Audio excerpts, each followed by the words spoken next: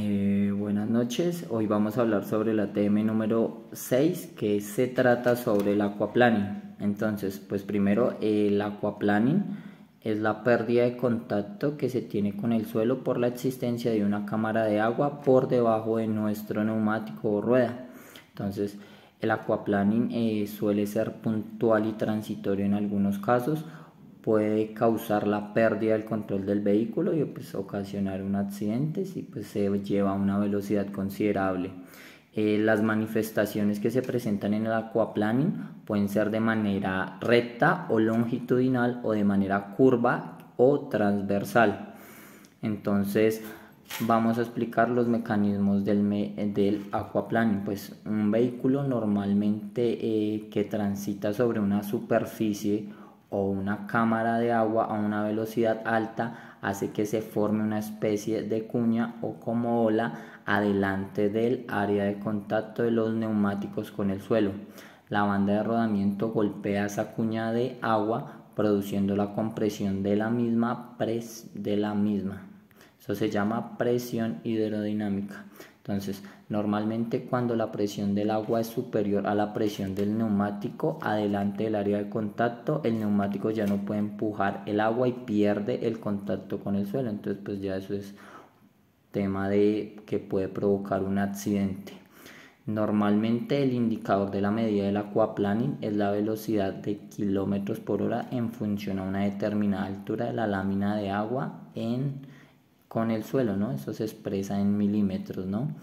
Em, eh, la influencia de la velocidad en el aquaplaning, eh, pues de hecho, em, como lo muestra la imagen, la siguiente imagen muestra las huellas de un neumático circulando sobre 6 centímetros, 6 milímetros de elaborado a diferentes velocidades.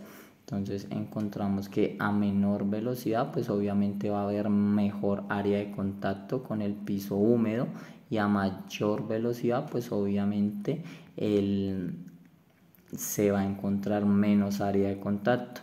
Entonces eso significa que la presión hidrodinámica aumenta con el cuadro de la velocidad en mojado. Entonces pues por eso es primordial reducir la velocidad en, en una en cuando estemos en temporadas o haya un piso húmedo.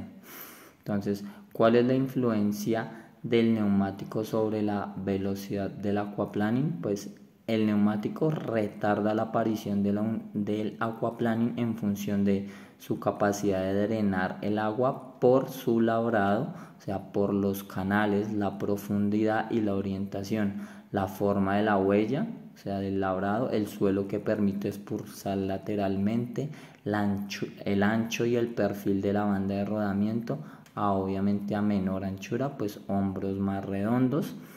Eh, también lo otro que podemos encontrar es un neumático ancho, pues debe ser capaz de evacuar mayor capacidad de agua que un neumático más delgado a medida que se desgasta el, el, neumático, pues obviamente también pierde la capacidad de drenar agua, ya que se va acabando el labrado, ya se va poniendo más liso, ya se va poniendo más plano.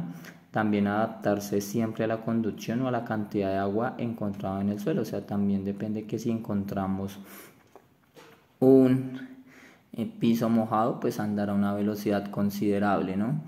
Eh, también pues encontramos ejemplos de llantas Michelin que pues digamos eh, son muy buenas en el frenado. En este caso, en esta actualidad pues encontramos la Energy XM2 que pues es la llanta que frena pues 4 metros antes que la competencia, ¿no? Tanto en, en un piso húmedo, ¿no? Brindándole mejor seguridad.